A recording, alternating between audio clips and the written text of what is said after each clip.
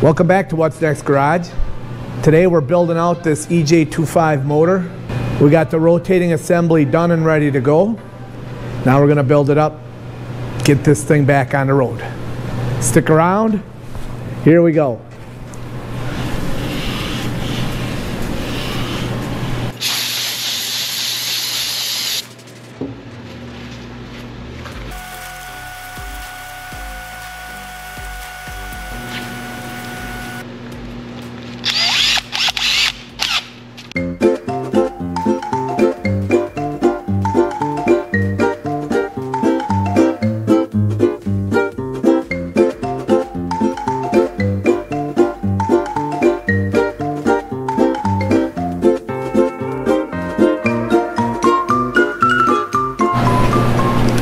So because this motor took a hit here, because this was all broke, so it got into a front end collision, I think there's a little bit of distortion in the threads down here because when I threaded this, when I cleaned this hole, it got a little tight down there. So I'm gonna try and take, this is a M12 by 1.25, and I'm going to try and First, let's get it started there. So I'm hitting the tight spot right there. So I'm just going to ease through it. It could have been distortion from maybe the um, the welding here, and I may pull this pin out of there, or uh, that locating bushing. Yeah, we're we're actually taking a cut.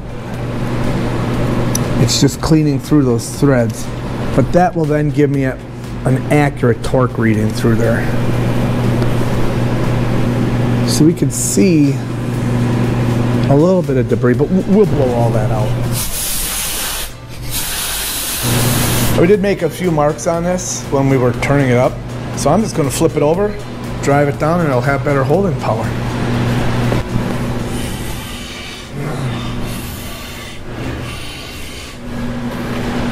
Over this. We have our gasket right here. We're using the uh, Felpro 26415 PT. And these are MLS multi-layer steel gaskets, not the OEM ones. I always put these in.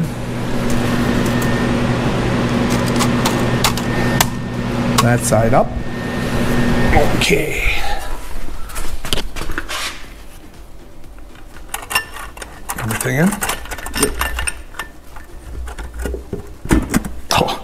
Like a glove. Okay, now we can do it.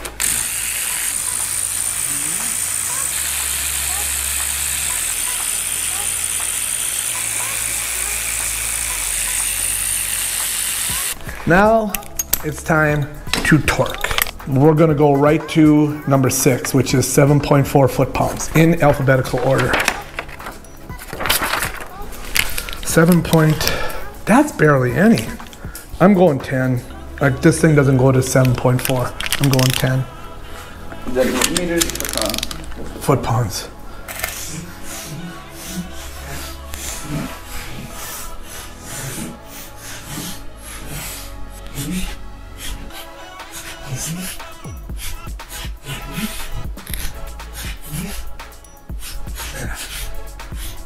Oh, we got 44.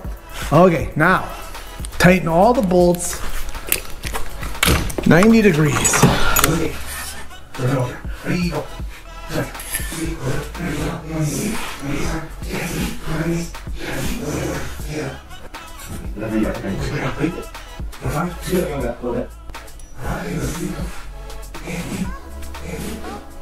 And an F.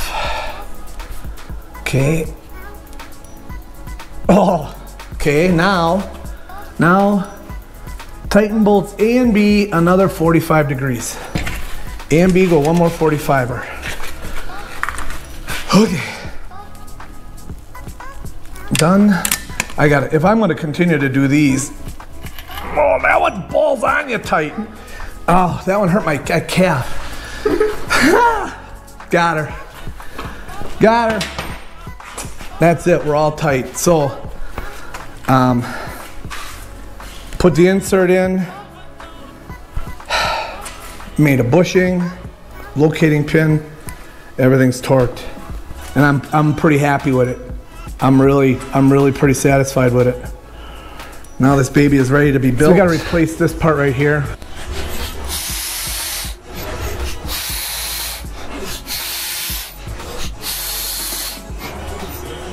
Okay, so those are all oil passages, but that's definitely bent, and then this is broke off.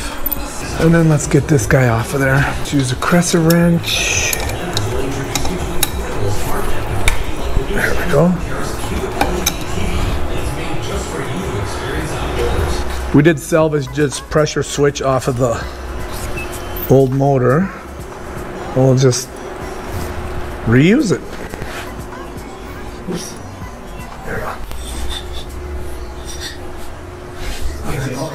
So now we can look at getting the oil pump cleaned up and get it on there. Let's get the oil pump in here. We're gonna scrape off all the Permatex, clean that up.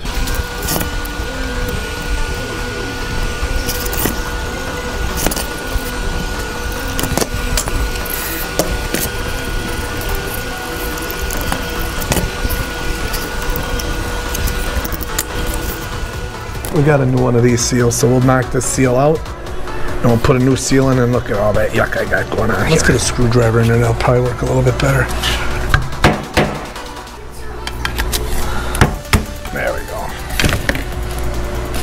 Then you see that little hole or that little groove in there? That's actually a little drain to drain back to the system. So we're gonna just run this guy in there.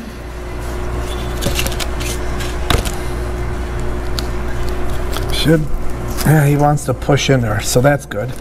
So you can actually push him in or start him with your thumbs. And I'm gonna just... And I'm actually pretty comfortable doing that because I was able to put it in with my thumbs. Good. Yep, I'm happy with that. That's good. So before we put it on, we'll make sure and grease the lips of the seal. I already have the engine block prepped. I'm just going to get the RTV and get ready. For those of you out there that are wondering, this is the best purchase I ever made. They're part number 22069. It's a Permatex part number, and it's just these nozzles.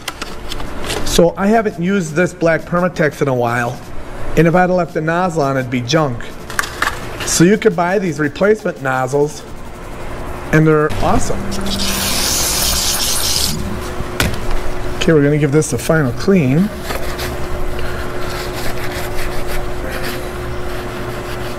Let's get any oils off of there. Okay. So this O-ring is gonna go right here. Oops, get in there. I may put a little grease on there just to make sure, but seems good. So I took what I could get is I took what I could get. And then she and then she looked at me with them big brown eyes and said, You ain't seen nothing yet. Now, now, but baby, you just ain't seen no, no, no, nothing yet. Wish I could sing. Okay, here we go. Now we're gonna we're gonna go up and we're gonna seal. And I believe they had gasket material around there too.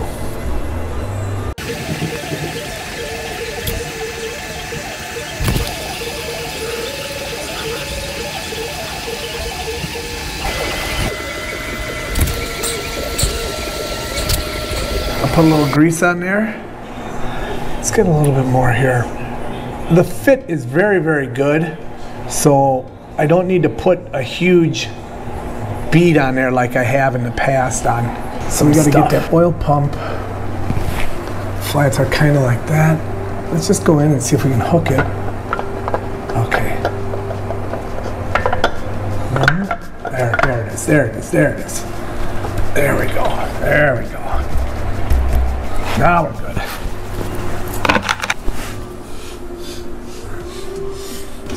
There we go.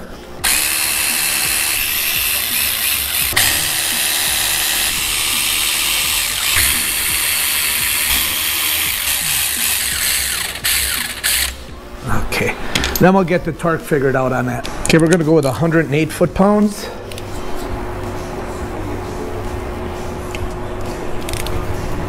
Okay.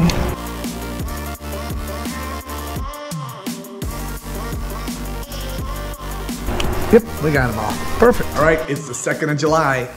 We've got ourselves a long weekend here. I'm gonna try and get this EJ253 built and in the car by Tuesday, which would be the 5th of July.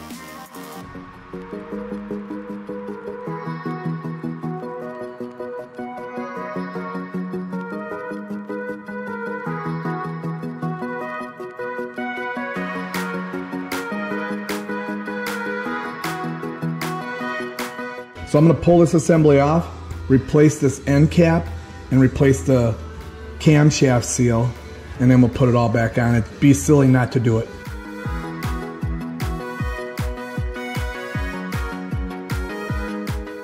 So it had to be a pin that was holding that up.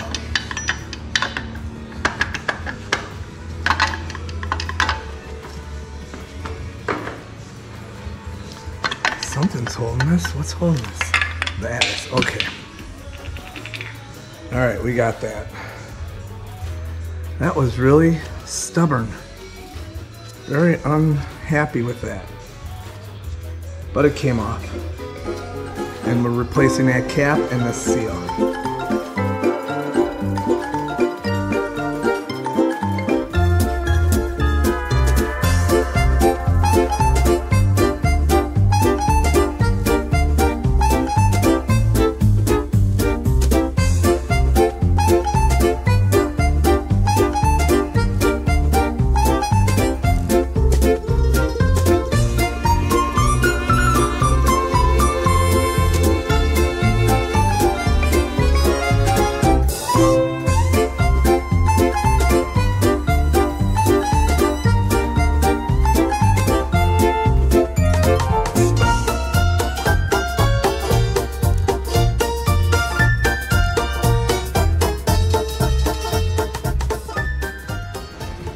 So for this back cap, gonna take some aviation Permatex. Oh boy, that's messy. We're just gonna go around it just to help seal up any imperfections in the OD. There we go. Aw, I knew it was gonna fall. I don't know why I decided to just play dumb with it. This fits on there really good. So this is an inch and a quarter. Fits right over the shaft for the crank or cam. All right, that's how I did the end cap.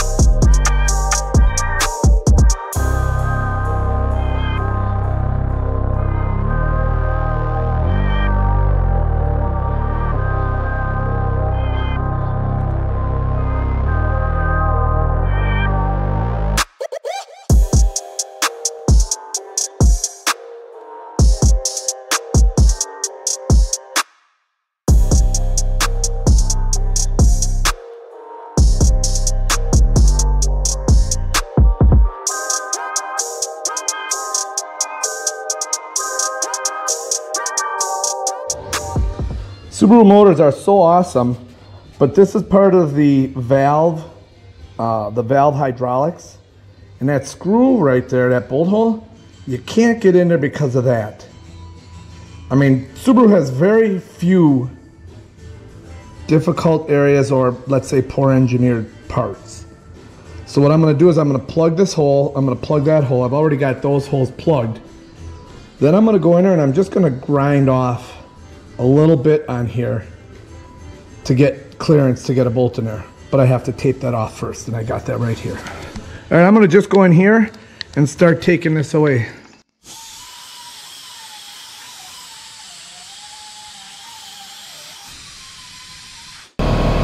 Okay, beautiful. And you might think there's not enough meat there, but this bracket is all the way, this is a big bracket for this sensor. Perfect. And that's it. That's nice. Now we got clearance there. And if you look at the bracket I ground on, you can see it's really a pretty beefy bracket. So we're good to go. All right, we got to replace the throttle body.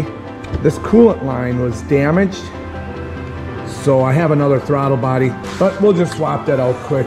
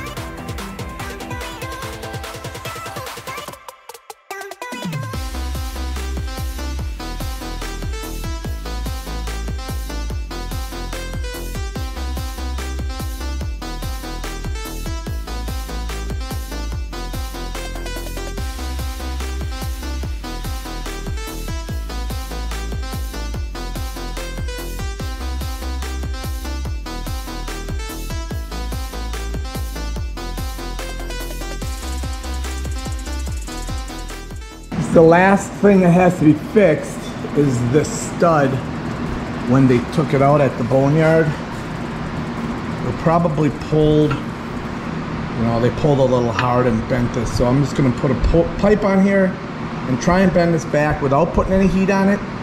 I don't want to break that mount because I could just see that casting blowing out right there. Well, whatever happens, you're all gonna come along for the ride.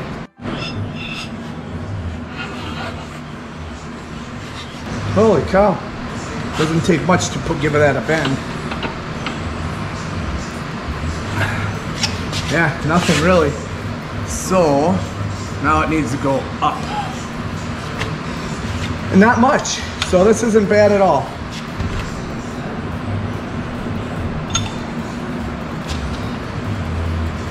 Oh yeah, a little bit more, and it'll be okay.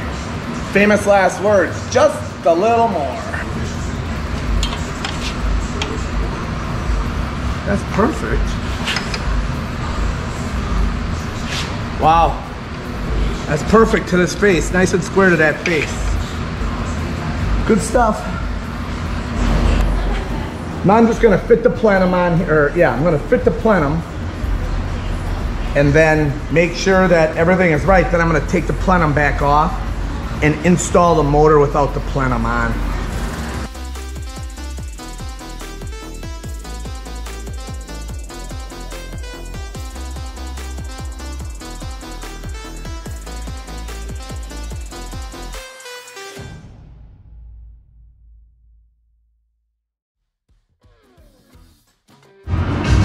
Okay, we got the motor all ready to go.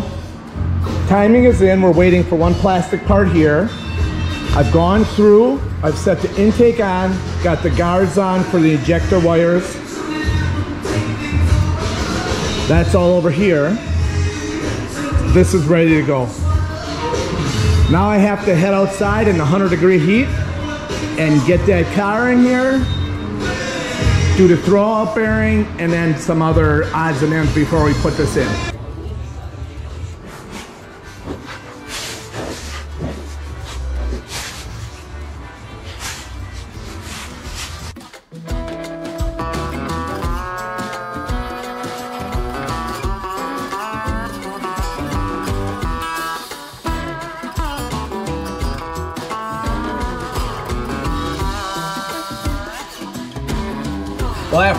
Inspect that really good to make sure there's no cracks on it.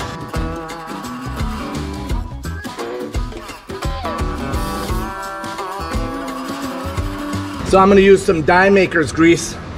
My good buddy Tim, he probably remembers this stuff.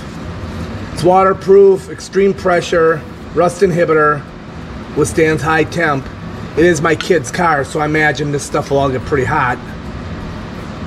Forms a persistent film persistence. You gotta be persistent. Put a little there. Just put a dab in there. And Put a little bit there. And we'll install the spring, which retains on that ball. Goes in. Okay, and okay. So the net spring goes in there, and then when you put that ball in there, this kind of opens up and accepts it in there. Okay, so these bearings then, one leg goes in the hole, like so. And then you just gotta kind of pull that over there. And that's all that retains it. It's nothing spectacular at all. Just gonna put this guy in there like so. And just get him in there like that. That's it.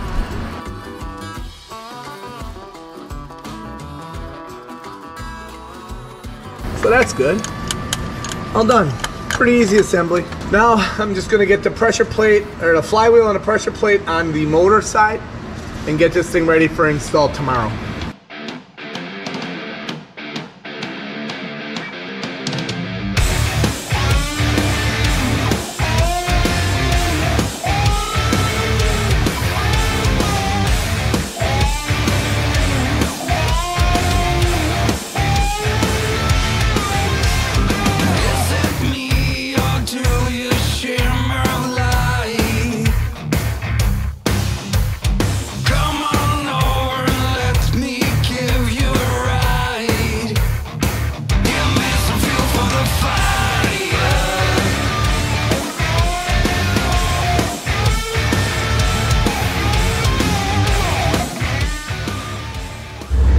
Have one dowel pin on the bell housing. The other dowel pin is here. But if you look on the motor, it's missing. So we're gonna take it out of this black half. We're just gonna pull this dowel pin out. This is the block that has the cracked ring land. So it's scrap anyway. We'll do everything we can to get that out of there.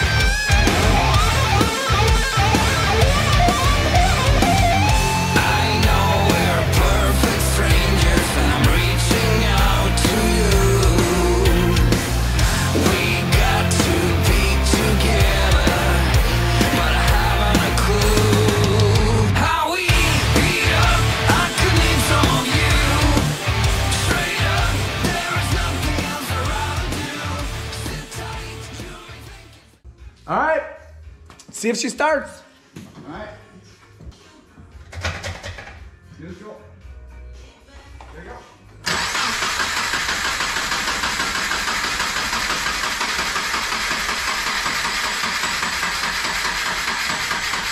That wasn't very nice. Let me get the jumper, bud. There could be the fuel pump could be going bad. Also, right? If the fuel pump's not getting the pressure up here, I'm not. I'm not worried about it because I know it's gonna start. Hold on a sec.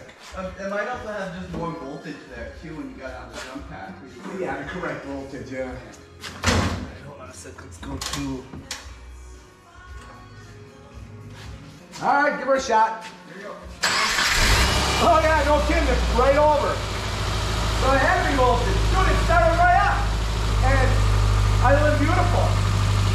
Wow. Uh, coolant.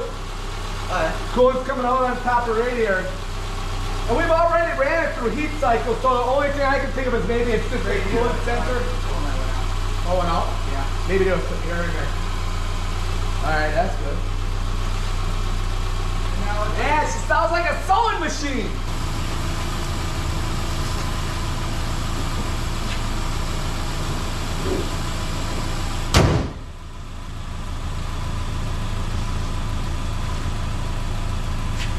All right, back her out.